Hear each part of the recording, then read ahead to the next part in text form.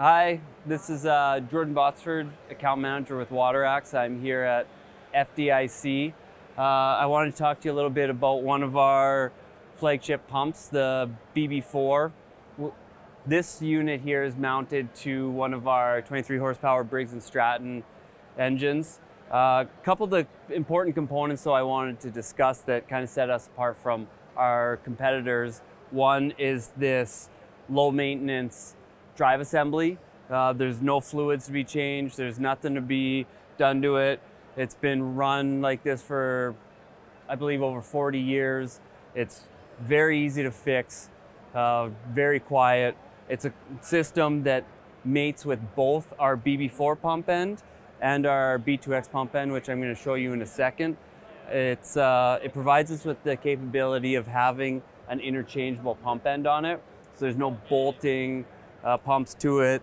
There's no direct drive, which could then uh, have any concerns with if the pump end were to fail, driving that shock right into the engine. So it, it provides some shock protection there.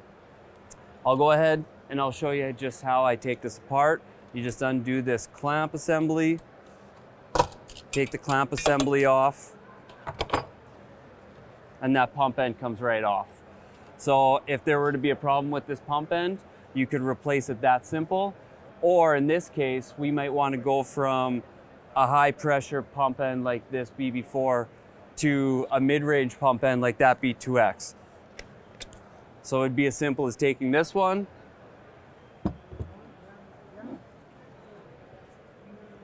grabbing this pump end and just mating it onto that drive assembly.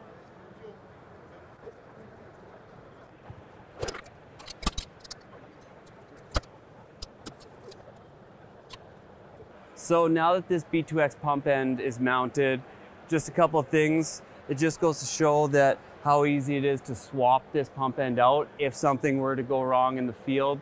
Your engine isn't down, you just need to replace that pump end. I went from this four stage, 440 PSI, four stage pump end to this mid-range 200 PSI, 300 gallon per minute, two stage pump end of the B2X. And it's that easy to be that interchangeable depending on what your application needs are. It's one engine, two pump ends, and you could have multiple applications for your system. The next product I'm here to speak with you today on is our new Mark III Watson pump. This was seven years of R&D in the making. It's the response to an update on our 60-year-old Mark III flagship pump. Uh, this features the same specs as the original Mark III, 380 PSI, 100 gallons per minute flow. Um, you'll see it's got a similar removable pump end, just like the B2X and BB4. So again, in the field, you have that ease of swappability if the pump end were to go down. Uh, the nice feature about this pump versus the traditional Mark III is we've managed to shave 25% of the weight off.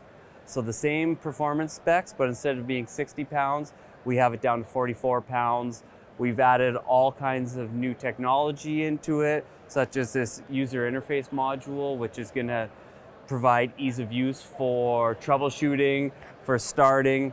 Um, there's all kinds of new tech put into this. I will say, however, uh, one of the biggest concerns when we're talking about wildland fire pumps is keeping it simple. This module is a diagnostic tool. It is not an operating system. This pump can run without this.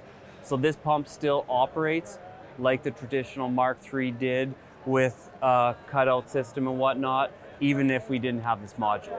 This is just added uh, benefit to the system aside from the cut, the reduction in weight, the I will also say one of the biggest gripes with the traditional Mark III is the compression. We've managed to cut the compression in half on this, so it is no problem starting. It's more like starting a lawnmower than like having to start the old Mark III. If you haven't got a chance yet to come see this Watson, we're here at FDIC all week. Uh, otherwise, you can look at it online on our website, waterax.com. You can see specs for any of our pumps there. Uh, and we'd be more than happy to help you out. Just reach out to us online and we can help you find anything that meets your needs.